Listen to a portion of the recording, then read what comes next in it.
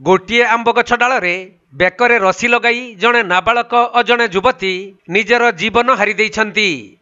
ତେବେ ସ୍ଥାନୀୟ ଲୋକମାନେ ଏପରି ଅଘଟଣ ଦେଖିବା ପରେ ପୁଲିସକୁ ଖବର ଦେଇଥିଲେ। ଖବର ପାଇ ପୁଲିସ ଘଟଣାସ୍ଥଳରେ ପହଞ୍ଚି ମୃତଦେହ ଦୁଇଟିକୁ ଆମ୍ବ ଗଛ ଡାଳରୁ ଉଦ୍ଧାର କରିଛନ୍ତି। ଏପରି ଏକ ଅଭାବନୀୟ ଘଟଣା ଘଟିଛି ମୟୂରଭଞ୍ଜ ଜିଲ୍ଲା ବାରିପଦା ସଦର ଥାନା ଅଧୀନ ଶଙ୍ଖାଭଙ୍ଗା ପଞ୍ଚାୟତ ଶିଖର ଘାଟି ଗ୍ରାମ ନିକଟରେ। ଆଉ ମୃତକ ଦ୍ୱୟ ସେହି ଗ୍ରାମର ଚଉଦ ବର୍ଷୀୟ ସାଲଖାନ ମାରାଣ୍ଡି ଓ ଅଠର ବର୍ଷୀୟ ମୁନି ମୁଖୀ ତେବେ ସେମାନେ ଭିନ୍ନ ଭିନ୍ନ ଜାତିର ତଥା ବୟସର ତାରତମ୍ୟ ରହିଥିବାରୁ ଏହା ସେମାନଙ୍କ ବିଫଳ ପ୍ରେମର କରୁଣ ପରିଣତି ବୋଲି ଚର୍ଚ୍ଚା ହେଉଛି।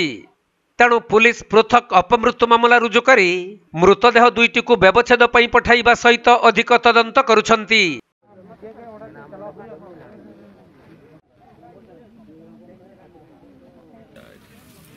क्लियरली करिके कर ना